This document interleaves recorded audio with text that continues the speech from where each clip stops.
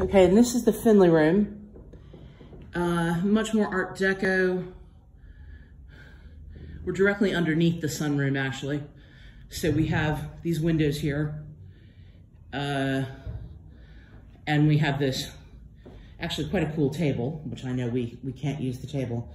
So again, the furniture in here is, is all too stiff for us.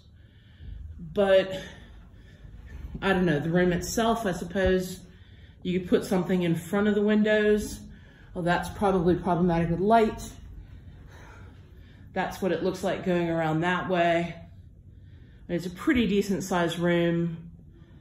Uh, you know, the cool light fixtures over there, the that gray, that's just cocktail stuff for an event tonight. Uh, you know, so maybe moving the table out or back and doing something in that direction, but that's an option.